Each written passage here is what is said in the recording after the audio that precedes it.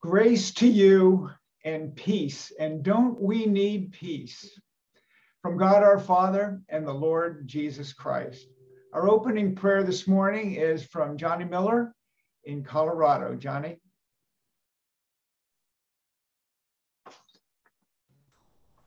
Good morning, everybody. So good to see all of you guys. Let's just go to God in prayer. Dear Lord, thank you so much for this day. Thank you that we all woke up this morning and came to mm-hmm. hang out together. Lord, just be with us through this service and throughout the day and be with Bart while he speaks. We love you, Jesus. Amen. And thank you, Johnny. Now we're going to have Naomi in the Democratic Republic of Congo sing us a song this morning. And there might be a little background noise, but I know the Lord will help us to worship through it. Ah, thank you, Dawn. Uh, Maria is going to sing a song right now in Swahili, and uh, her song is titled today, Jesus Cross is Powerful. It gives life and joy. Ah, Naomi, go ahead. Ashitengae na wenzake kutafuta mapenzi yake mwenyewe. Jinsi ilivyotupendeza ndugu wakae pamoja kwa umoja, ni kama mafuta idondokayo kwenye ndevu ndevu za Haruni. Wenzake kushindana na shauri njema. Msalaba, msalaba wa Yesu ulivunja ukabila na chuki. Pale Goligota Bwana Yesu alijenga madhabahu. Madhabahu ya leo si kama madhabahu ya Agano la Kale. Chuki, ukabila, matengano ndiyo imetawala na Wakristo kanisani wamevunja madhabahu ya Yesu ya Goligota, wamewakataa wachungaji wa makanisa zao, wamewakataa wachungaji wa makanisa zao, wameandika andika vibao vya kuwashitaki, mivutano mivutano mivutano kutafuta vyeo gesi walivyo kanisani, hawatosheki na walivyo kanisani. Msalaba wa Yesu ulivunja ukabila na chuki. Pale Goligota Bwana Yesu alijenga madhabahu. Madhabahu ya leo si kama madhabahu ya Agano la Kale chuki, ukabila, matengano ndiyo imetawala. Amen. Thank you very much. Thank you, Naomi. That was beautiful. Thank you. We're grateful. Wow. Okay, We're going to go right into a couple of bright spots right now. And if you can see, uh, do you all see a picture up on the screen? Yes. Joan, that one first? well, so I'm going to share just real briefly. So Joan and I work at the thrift store at the Naval Academy, and all the money that we get in goes back into military families. And on Thursday, I was working when Joan was in um, Chicago taking care of her granddaughter who broke her foot. It was kind of the beginning of this whole invasion thing that was going on in the Ukraine. And we have very strong, strict regulations as far as giving uniforms, military uniforms away. You can only sell them to active duty personnel. So on Thursday, I had six women come into the store before the store even opened. And we ended up being able to give them probably 100 uniforms uh, boots and hats and beanies and and it was just just a beautiful experience for me personally because I'm so far removed from what's going on in Russia and Ukraine that I felt so far removed. But seeing these women who are young pilots who were leaving the next day on a cargo flight come in and out of their own pockets want to do something. And one of them said, Well, we were just at Walmart the other day and we bought over a thousand dollars worth of diapers and bottles and things to feed babies. And then Joan has something to share about what happened yesterday in regards to this picture. Well, continuing what happened on Thursday when I was away, and by the way, thank you, Dawn. And Dawn, Pat, um, uh, Adrian, um, some of the Haus uh, members volunteer at the Navy Marine Corps Relief Society. But anyway, on Saturday, uh, usually it's staffed all military, but they knew they would need additional assistance. So um, it, uh, you know, I was privileged to be here and able to go. And so did Dawn and Bart. He is now officially a member of the volunteer group at Navy Marine Corps Relief. But uh, this is a picture of yet more uniforms somewhere between uh, BDUs, so battle dress uniforms that are no longer uh, regulation for the US um, to use. And so they had been gathered up and uh, you see them uh, being folded and taken away. Barn, uh, Bart and Dawn helped load them into the uh, van, and then they flew out yesterday afternoon to the Ukraine. Um, in particular, um, uh, boots, and as Dawn said, warm clothing, and uh, not just warm clothing for the military, but also for uh, some of the refugees and others. Uh, this is being uh, started up at, because of a public affairs officer at the Naval Academy having family in the Ukraine. So that started the coordination. And we're just uh, very blessed to be able to help in some small way uh, these courageous people. Wonderful. That's a bright spot, a huge bright spot. And now here is another bright spot. We had a party and look who all came together. so originally this was going to be a, a little surprise party for Joan, who some knew, she knew were coming to our house for her party. But what nobody knew was that the Frasers were actually going to be in town also. So I had everybody come at 11:30 except for the Frasers, and they came at noon. And so nobody knew what was going on. no, so we ended up having a really wonderful time together, and everybody. It was so great meeting Jeremiah and everybody meeting everyone together. So it was it was a really wonderful bright spot for us. And I missed it, but uh, Dawn sent me a video clip. Everybody was singing to uh, happy birthday to me. But anyway, but it was so much fun to see everybody in the video clip. Thank you for that. That was a bright spot for me. And happy birthday Yes, to happy you on that. Well, our word for this week is first, something to think about. In baseball and the kingdom of God, you must get to first base before moving on.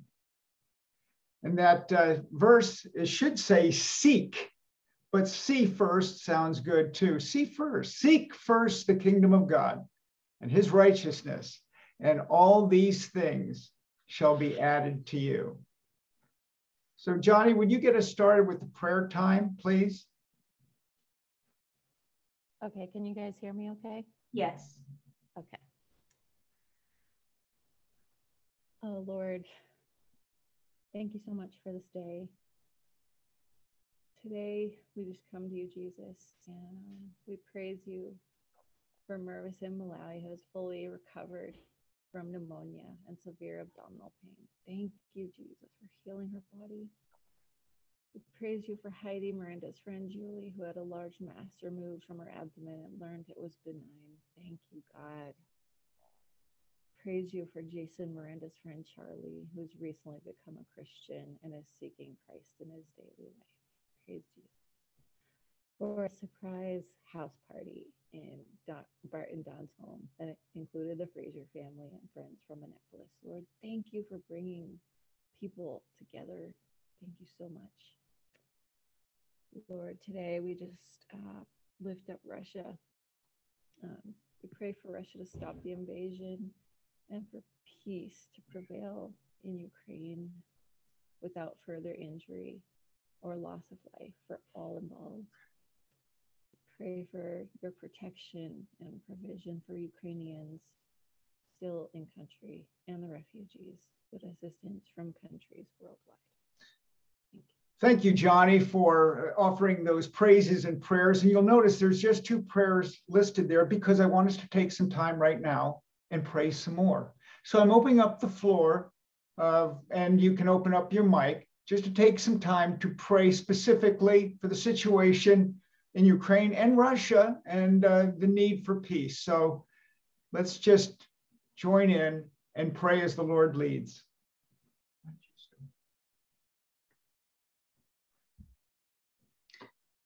Lord, I must confess, sometimes I don't know how to pray when there's situations like this that just seem so overwhelming. And uh, but the good news is, Lord, is you are in our lives and you are there.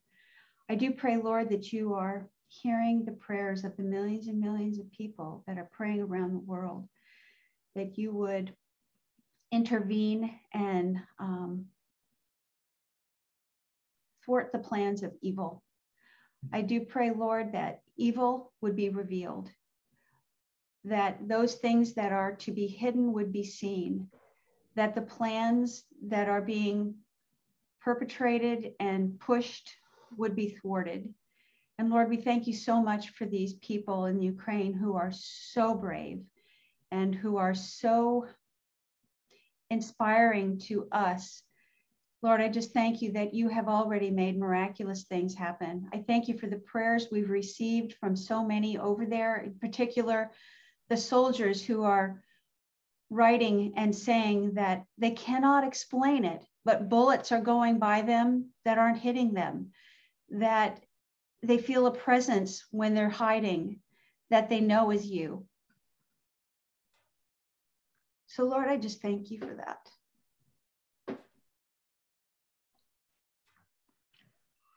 Lord, I thank you for this day. Just pray that you would open hearts, open eyes and minds, that we could see what's going on and what's needed and how we can best offer our lives for you in these situations. Lord, give the people of Ukraine and those in Russia courage. Give them open mindedness. Help them in all their needs, Lord. Guide and direct each one, I pray.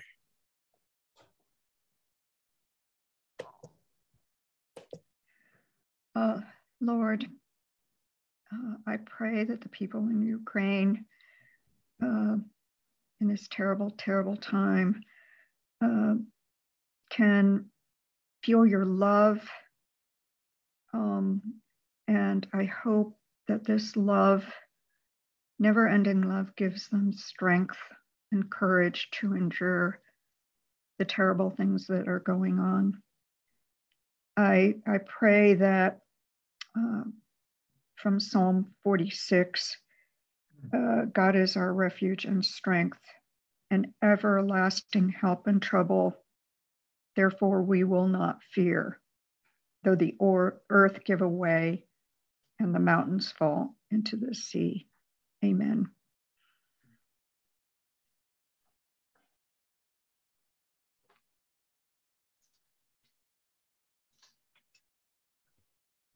Father God, I uh, lift up the children in Ukraine. Lord, I cannot imagine my children having that fear or seeing uh, the things that they may be seeing over there. Protect them. Give them some joy, Lord. Um, I pray for their mothers and and fathers that they could provide some sort of sense of strength and well-being and that they would just find joy lord. Um, let them be children and keep them protected from this nightmare. In jesus name lord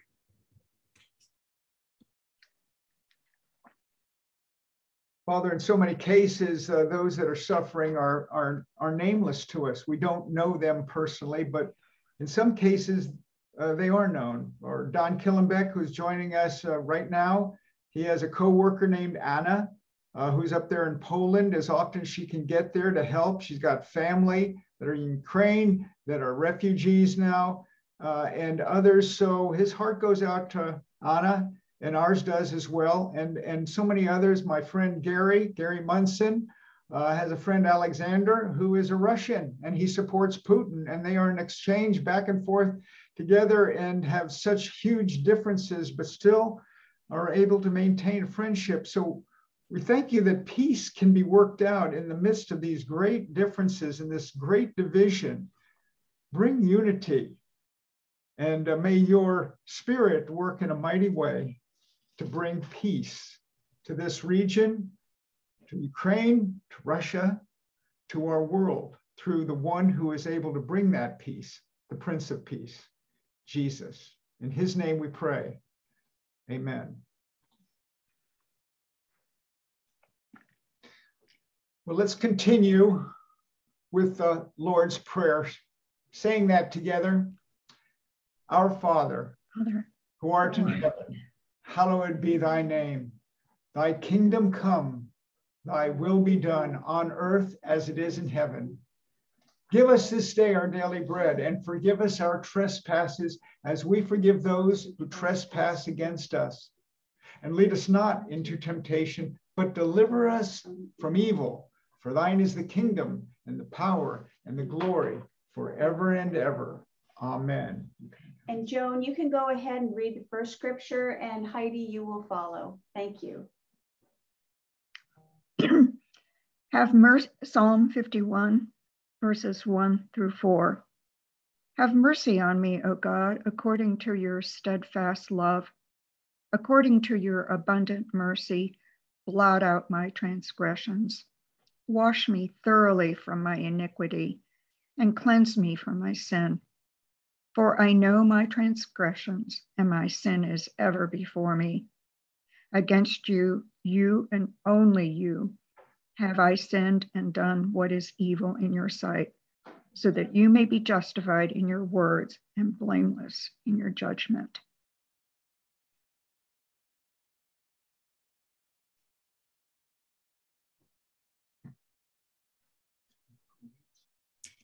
Matthew 4 12 through 17. Now, when he heard that John had been arrested, he withdrew into Galilee. And leaving Nazareth, he went and lived in Capernaum by the sea in the territory of Zebulun and Naphtali, so that what was spoken by the prophet Isaiah might be fulfilled. The land of Zebulun and the land of Naphtali, the way of the sea beyond the Jordan, Galilee of the Gentiles. The people dwelling in darkness have seen a great light, and for those dwelling in the region and shadow of death, on them a light has dawned. From that time, Jesus began to preach, saying, Repent, for the kingdom of heaven is at hand. Thank you. Thank you for those readings and thank you for tuning in. And let us be mindful always that in the midst of dark times, uh, the sun is still shining, shining above the clouds, and it's shining enough to produce beautiful flowers like these. They're all around us. And they remind us of God's goodness, His grace. It's kind of like the rainbow, you know, after the flood, in the midst of all the trials and challenges and the difficulties of life in our world. Um, this is, I'm to leave them there. This is uh, the good news, the good news of uh, smiles that are there. And uh, let's greet people wherever we go with that smile and the love of the Lord. And with a smile for you this morning before my message is Craig Kennedy down in Florida. Craig has a little brother Craig story for you. Craig? Play ball. So I went to uh, my grandson's baseball game yesterday over at the park, and there's about 12 games going on at one time. And you, you're talking about a, a time of, of excitement and, and some division. I felt so bad for them umpires, man. I mean, when you get there, the Cubs sat on one side, got my Cubs hat on, my Cubs shirt on, and the Yankees was on the other. And the parents, man, they weren't exactly real cordial with one another. These are 10 year old kids. You think that it would just be a big time of, of community. Well, that poor umpire couldn't do nothing right. Well, this story is about this uh, about this team that made it to the final game that would get them to Williamsburg, that would get them to the All Star games, and uh, it was a close game. It was the bottom of the nine. The team at bat was down by just one run. Bases were loaded, and there was two outs, and there was a young boy sitting at the end of the bench that wasn't very good. In fact, he was a little physically impaired, and his parents put him on the team just so that he would have some community and that he would get to meet some of the other boys, but never thought in a million years that he was going to be put in this situation. And when the coach said, Johnny, grab a bat, oh no, the whole team said, Coach, what are you doing? And Johnny hadn't hit the ball all year. This is it. We, we, we, we can't put Johnny up there. He said, Johnny, grab a bat, son. And the coach ran out there and put his arm around Johnny and said, Boy, just do the best that you can. Well, of course, the first ball was a fastball, and the umpire said strike one, and the kids in the dugout hands were in their face. And the parents, they were worse than the kids. They were screaming all kinds of things at that poor coach. Next pitch was a strike two. There was just silence. Third pitch, little Johnny somehow hit the ball back to the pitcher, and he began to run as hard as he could. And that old pitcher looked at the ball, he looked at Johnny, and he threw that ball over the first baseman's head clear into right field. Well, old Johnny made the turn going to second, and that right fielder took the ball and slung it over the third baseman's head. Little Johnny's doing the best that he can to get around them bags. And he hit third, and the boy in left field tossed it over the catcher's head, and Johnny scored. And he won the game. and the kids on the field just showed so much mercy and so much grace that they were willing to give up that trip to Williamsburg mm. to show some love to John. And the entire stadium was quiet and was in awe of the demonstration of love. Thanks for listening. Oh, great story.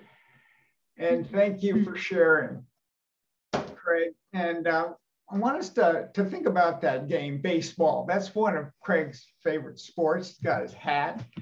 Uh, back uh, 50 years ago, it was there was a commercial that came out, and it was pretty popular in the 70s and it said four things uh, baseball, hot dogs, apple pie, and Chevrolet. It wasn't Ford for some reason. It, Ford. it was great. It could have been a Ford, but it was uh, Chevrolet. Now, what, what do all those have in common?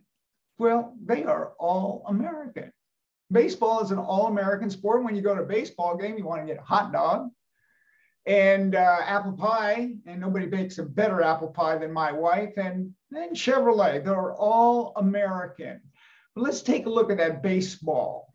Uh, in fact, my brother right now, Steve, is down in Arizona because that is where the Kansas City Royals, and he broadcasts for the Royals, that is where they do training. And he's down there enjoying his time with his wife, watching them play. And looks like they're not going to be playing uh, you know, play ball for real for at least a week because of some strike along the way. But uh, everybody that is into baseball wants to see them play ball.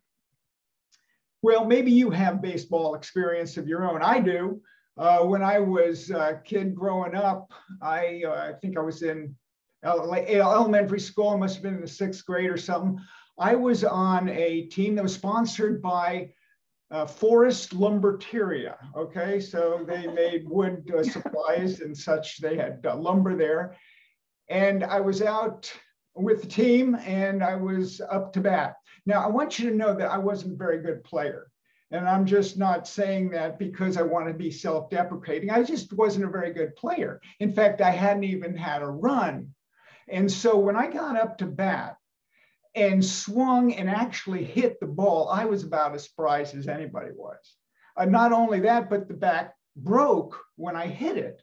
So when all of that is happening, I'm hitting the ball for the first time, breaking the bat. Sometimes you just get lost and you just stand there and you're just amazed. And people are saying, run, run.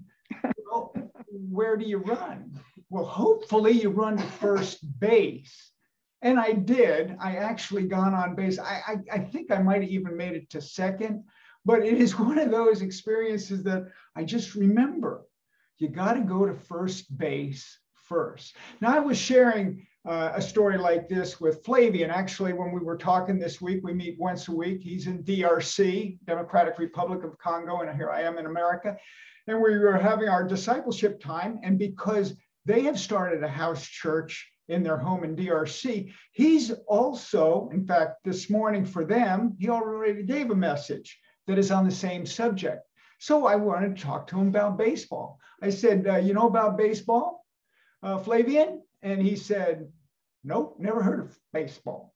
so I thought, Well, I'm kind of stuck here. Um, maybe that's not a good illustration to use over there in DRC, Flavian, but let me explain to you a little bit about it. By the way, Flavian, uh, do you guys play cricket? He says, No, we don't play cricket. And then I'm searching for, well, so I pulled up on the share screen a baseball diamond. And I said, here's the way it works there's home plate, there's first base. And when you hit the ball, like I was talking about when I was a kid on Forest Lumberteria team, you go to first base. And then, if you can, you go to second base if somebody else hits the ball and all the way around third. And then when you get home, you get a point. And he was getting it, but I don't think he shared it this uh, Sunday because they don't play baseball there, but they do here. The point is, we got to get to first base first. Now, we are in the Lent season, which started last Wednesday, Ash Wednesday, and goes all the way up until Easter. It culminates with Easter, the resurrection. Before the resurrection, there's the crucifixion. And the reason for the crucifixion is our sin. And so we start the Lenten season on Ash Wednesday with uh, a time of penance, a time of sorrow, a time of reflection on our own lives and our condition of sin. And so we would think that the first thing that we would do then is repent, right? Wouldn't that be first base in this picture? To repent first? Well, let, let's see. I mean, certainly in the life of the Jesus and the uh, John the Baptist, for that matter, the first words out of John the Baptist's mouth as he begins his public ministry as recorded in the scriptures, we find this in Matthew and Luke. We find John saying, Repent, for the kingdom of heaven is at hand. Jesus is saying the same thing. With John, it says of John, it says, he came after being in the wilderness for all of his life, all of his growing up. He's there waiting, waiting for the Lord to call him into that public ministry. And when he does, he comes preaching a baptism of repentance for the forgiveness of sins, as it's written in the prophet Isaiah, a voice crying in the wilderness Behold, one crying in the wilderness Make way, the way of the Lord, make it straight, make those ravines rise up and those hills come down, make the crooked road straight and the rough road smooth. It's like making a highway for the one who is coming. And so that's how John presented. And when people came to him, his words are just astounding. He said, who warned you to flee the wrath of God to come? Actually, he front loads it this way. You brood of vipers. Anybody ever call you that? Brood of vipers. You sons of snakes. Those are strong words. He's calling them into account. Those that are coming for baptism. You brood of vipers, who warned you to flee the wrath of God to come? Bring forth fruit in keeping with repentance first. You who say that you are sons of Abraham, the Lord can raise up from these stones sons of Abraham. The axe is already at the root of the tree. Every tree that does not bear good fruit is cut down and thrown into the fire. Therefore, bring forth fruit in keeping with repentance. So, what would you do hearing something like that, being called out like that? Here, these people are coming to what appears to be first base, repent, but he challenges them. Why are you really coming? Why are you coming to me? Because the people called out, they said, What shall we do? And he responded to them. He said, Hey, if you have two coats and you see somebody without a coat, give him one. And then the tax collectors came to him and said, Well, what shall we do? He said, Well, don't take any more money than is required of you. And even the Roman soldiers, some of them came to him and said, Well, what, what shall we do? And he said, Well, don't take money from people by force and, and don't accuse them of things they haven't done and be content with your wages. See, the point in all of this is that there is something that John, and I believe God through John, is expecting before we get to what we think maybe is first base, if it is, to repent. Jesus, when he steps on the public scene, after being baptized by John, and then going into the wilderness for 40 days, 40 days of preparation, where he is in there in prayer and fasting.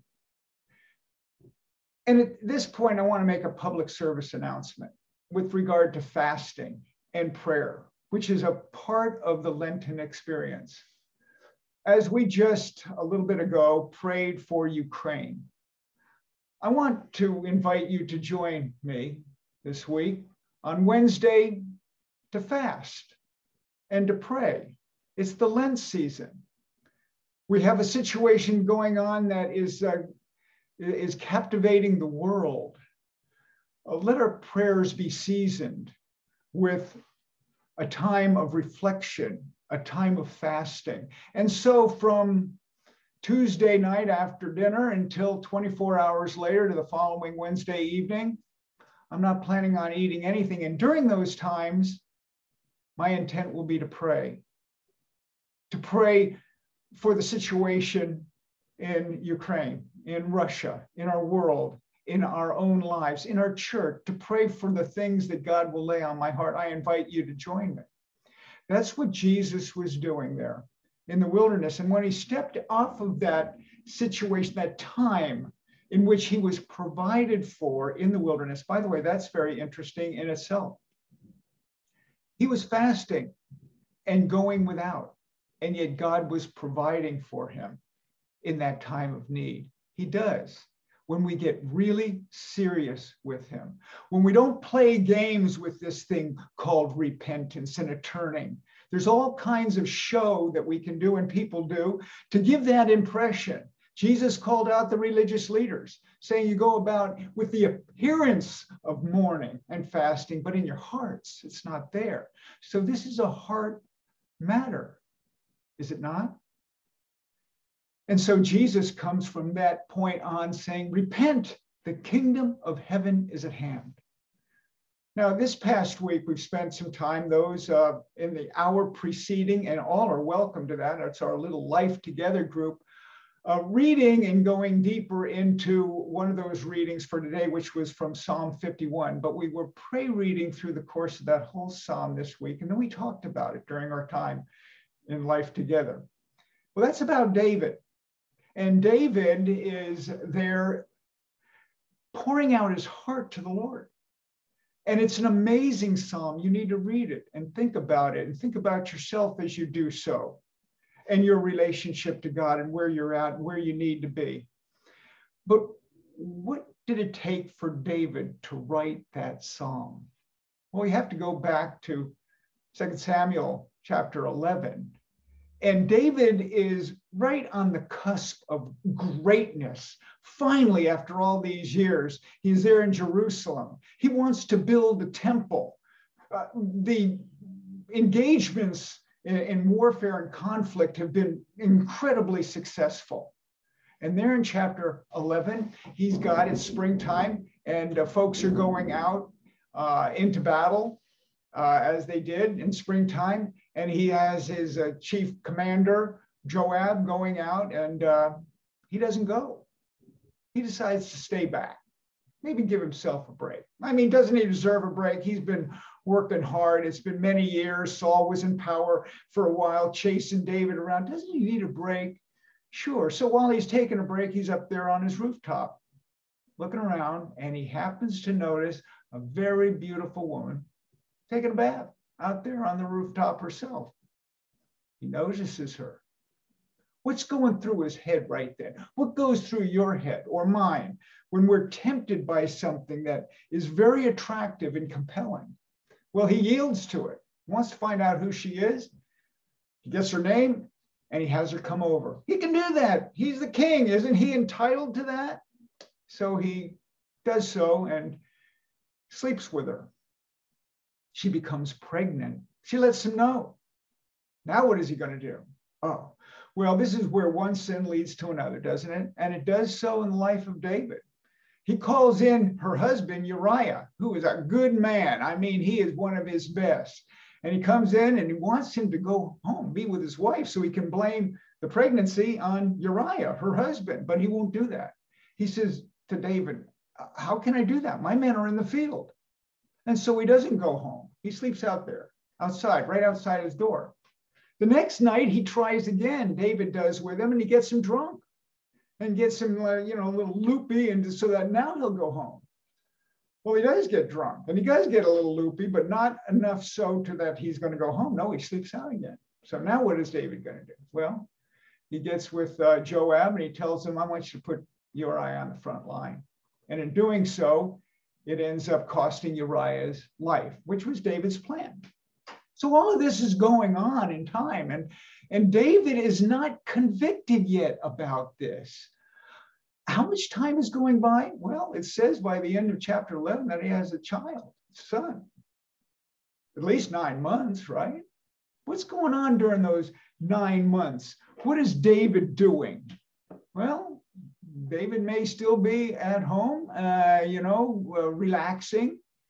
Is he not doing things on the Sabbath that they would do? He's a very religious man. Are, we, are you not religious? Here you are at house church on Sunday. Of course, you're religious. We do these things, these are our duties. No doubt he was doing that, but he still wasn't convicted. What's going on with him? What's going on with us? Is first base repentance? Or is there something that needs to precede that? Well, with David, he hasn't repented yet. Will he? Well, we know that he does in Psalm 51, but what's going on here? Finally, it takes the prophet Nathan to come to David. Sometimes it takes people like that in our lives that get our attention, that need to get our attention. Sometimes God wants to use us to get the attention of others that need to be informed about certain things. And in David's case, it was about what he had done with Bathsheba. And so he tells him a story. And David was a shepherd. So it's a shepherd kind of story. And here's a man who had, you know, a lot of sheep, kind of like David, a whole lot. He had tons. And, and he had this one guy uh, that just had this little lamb and they had it as a house pet. Well, this man with a whole lot has somebody, you know, come over and visit with him and he needs to prepare some food for him. So what he decides to do is instead of taking one from his very numerous flock, he takes this guy's pet lamb, slaughters it. Well, David gets hopping mad. he can't believe this. And, and, and, and he says, that guy needs to be he needs to pay it back four times over, et cetera, et cetera. And what Nathan says right before this famous line, You are the man that gets David's attention, he says, as it says in the scripture, he showed no compassion. See, this man in the story showed no compassion. David showed no compassion. He says it like it is. And then Nathan says, You are that man. It breaks David's heart. He realizes his sin in that moment. Why did it take him so long? Why does it take us so long? Are we not listening to God's Spirit speak? Well, how do we do that more so? How do we pay better attention? Well, it, it takes a willingness to, an openness to. So, where do we go from here? What is the application point? Well, I crafted a prayer a long time ago. I call it the prayer of commitment. But the first, first part of it simply says, God, I realize that I have sinned. That's where it begins. I believe that's first base. God, I realize that I have sinned and that my sin separates me from you. That's what happened with David. Why did it take so long? Well, a lot of other things were in the way of his picture where God was not able to communicate effectively enough for David to hear. Now, is that God's fault? No, it's David's fault. And it took someone to pierce that darkness, to reveal the truth, so that he heard it. I realize that I have sinned. First base. I realize that I have sinned. That my sin separates me from you. It causes an estrangement, a broken relationship. David realizes that. And he cries out in Psalm 51 for God's grace, for God's mercy. Create in me a clean heart, O God. Renew a right spirit in me. Cast me not away from your presence, O Lord, and take not your Holy Spirit from me. Restore unto me the joy of my salvation, and renew a right spirit in me. That sounds like somebody who realized their sin. So that's where it begins. God, I realize that I have sinned, that my sin separates me from you. I come to you in repentance, and true repentance is a change of heart first, a change of mind. Oh, I did wrong. David, you're the man, Nathan says. Oh, I did wrong. It changes the heart. Oh, I feel terrible and he turns around and he returns to God. That's the second R, repentance. I would say that's second base, not first base. Realize the sin, repent of the sin.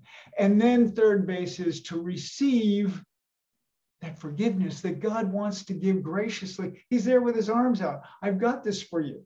It's kind of like that, uh, that coach on the third baseline saying, Come on, come on, you can do it as you're round in second base. Come on and receive slides right in, but it's not done there.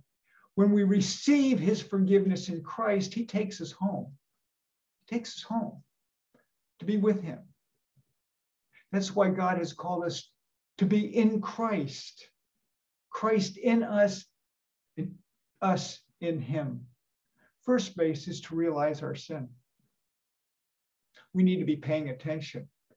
And that comes when we're in an ongoing conversation with God. David was not, obviously.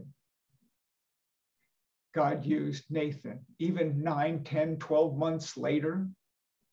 But he got his attention. You see how persistent God is, how loving God is? He wants us. He calls us to himself, to that place where we realize our sin, repent of it, receive his forgiveness, and are embraced then at home plate into the arms of the one who loves us so deeply.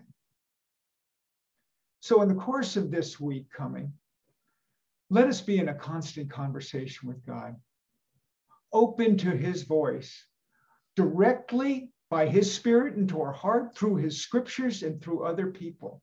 And through times like this, let us remember. Let us remember as we do every Sunday right now, as we celebrate together communion, as we commune with God and one another, remembering the price that God paid in Christ for our sins on the cross. That's where we're going in the season of Easter to the cross and beyond, but first to the cross. And why the cross? Because that's where he paid the price, the love poured out that we might have life. And so he calls us to join together. So if you are in Christ, and if Christ is in you, and you are in right relationship with people. And if not, well, we need to get it right. And then we come and fellowship, and then we join together. But if you are ready to partake now, let us do so. Remembering our Lord in the night in which he was betrayed. Betrayed. Surely David betrayed God when he sinned. Surely we betray God when we sin. We say he is Lord, but we are not acting as though. So in the night in which Jesus was betrayed, we come to him with a repentant heart, realizing our sin, repenting of it, and ready to receive. He took bread, gave thanks, and broke it, saying, This is my body, given for you. Take this and eat. And as often as you do this, remember me. Let us remember the one who never forgets us and loves us perfectly.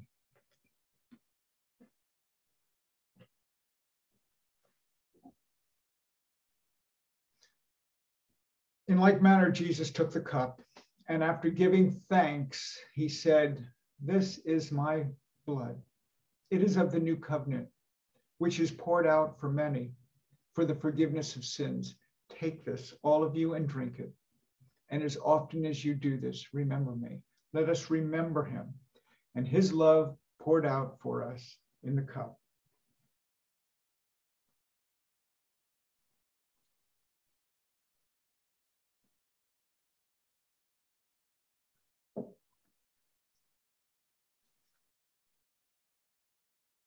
Lord Jesus, in this season of Lent, we hear your call. It was the call of the prophets, all the prophets up through John, calling the people, the nation, individuals to repent. And those were your words as well. But before we can get there, we must first realize our sin. Help us to by being in constant communion with you, our hearts and minds open to you not compartmentalizing you throughout the course of a day, but always with you. You called your disciples to be with you. Help us to be with you, present with you.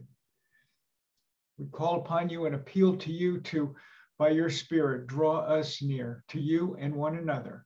And we thank you for doing so, Father, through your Son, Jesus. Amen. Amen. So now, let us uh, share together uh, a little bit about what has just happened. I uh, would like to know, first of all, uh, if you have any questions about what you just heard, what you just experienced. Any questions about what I just talked about? I would like to make one comment. So, about fasting, um, I know there are people who can't fast all those meals because of medication or health, but there's other ways to fast, either giving up a meal, just one meal. If you're a coffee drinker, don't drink any coffee during the day. Um, I, I just would think to look for a way to focus on God when you're desiring something is what the whole point of it is. So if it's um, i'm not going to go watch tv all day today. Whatever it is that you normally do i think taking that out is the point of the whole thing. Well and the point with it is not simply taking something out but replacing it. Yeah. as dawn said something that we would ordinarily do that is important to us and we would replace it with time with god. And i think the more we practice time with god the, the more we will get used to regularly being with god well, well let, us just get right into, unless you have some questions and, and you could throw out anything during this, this time together, but uh, a takeaway for you from our service today. And I say our service because I don't want to limit it just to the message you heard, but the service at large. What is a takeaway? In what way have you benefited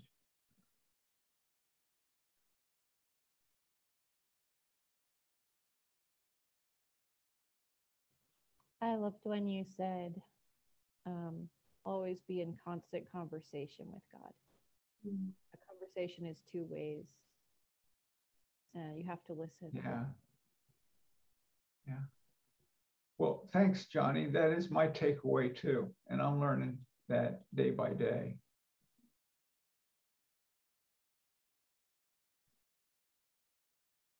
One of the things I've realized about myself is I was kind of a news junkie. And so during Lent, I have given up watching news and listening to news during the day. I, I don't want to be ignorant of what's going on. So I have this informant here. Um, but in its place, I put on worship music.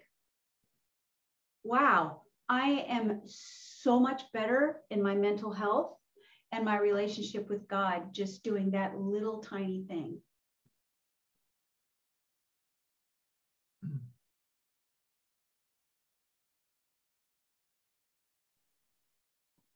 Bart, can you send us the prayer of commitment?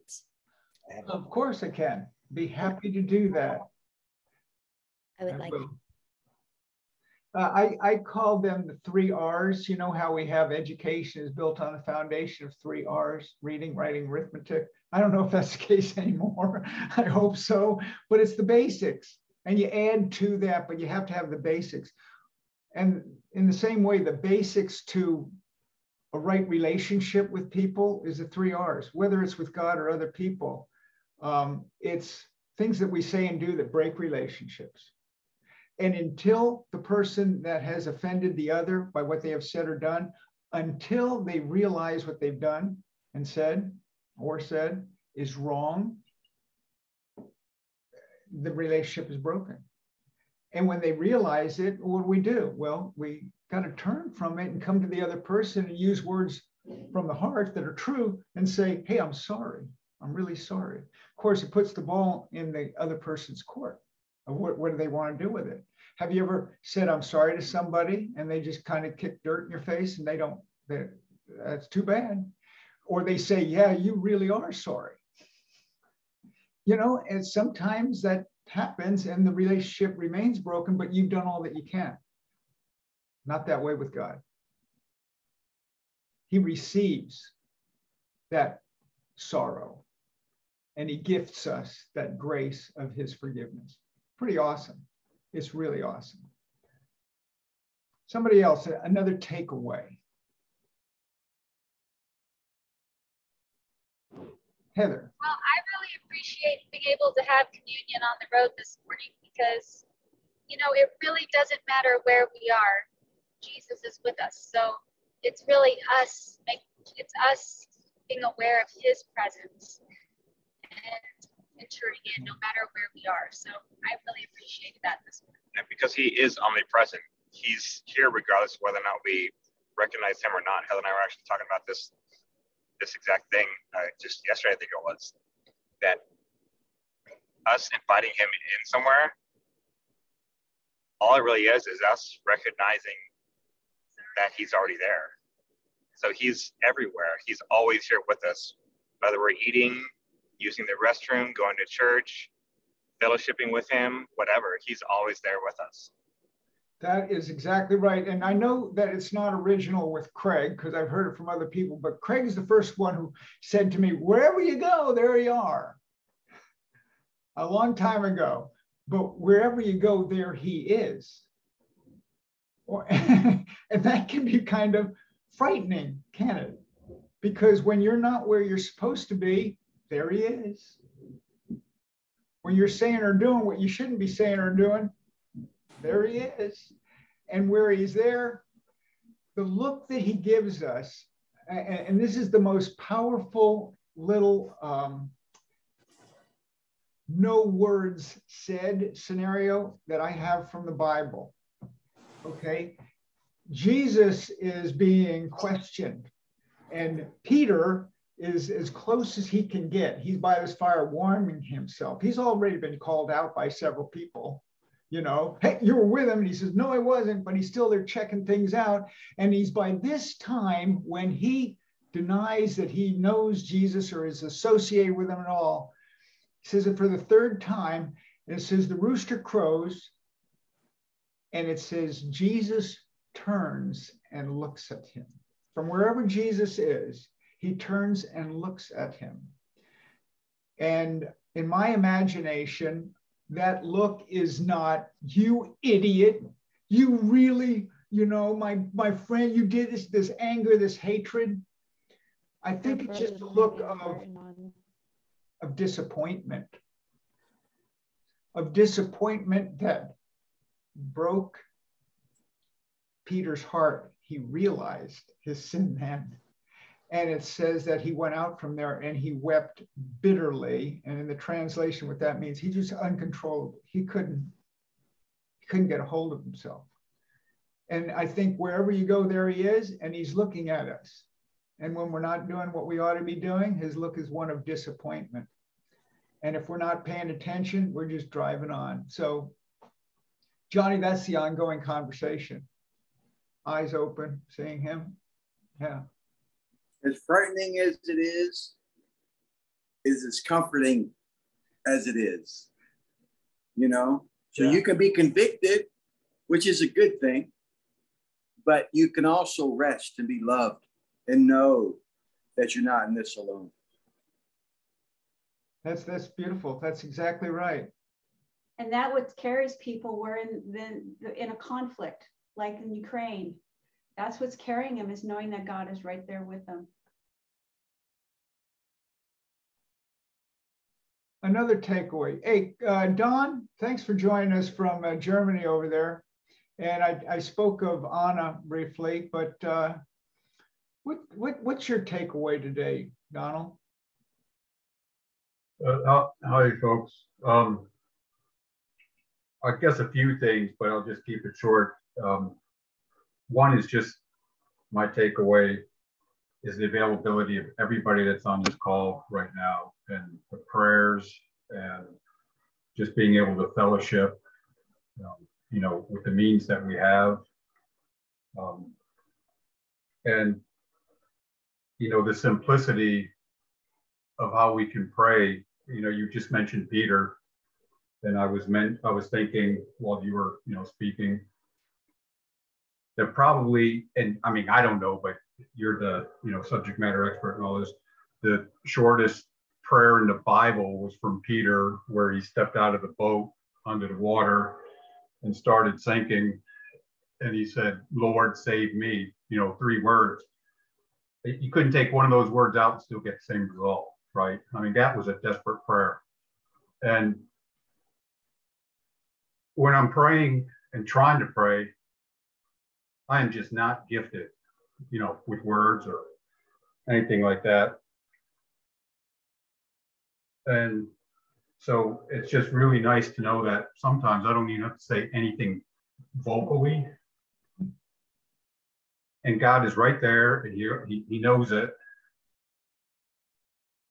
Um, so again, before I get my ball lost in weeds here, my takeaway is just that everybody's here, that, you know, I'm able to join online with the technology we have in fellowship and be in prayer and to also know that there, and I, and I knew it anyhow, but also again, just to see it that, you know, there are folks around the world that are lifting up people in Ukraine, but also in Russia too. I mean, my heart goes out to the Russians. I just, I can't imagine how those people are feeling. And, and I won't get into all that right now. Um, but I just appreciate being here today. That's my takeaway. So thanks. Thank you, Don. Love Uh, you, Don. Perhaps uh, the deepest prayer of all is the one that we can't find the words. And you know, I'm getting emotional just thinking about it, where, where you can't find the words.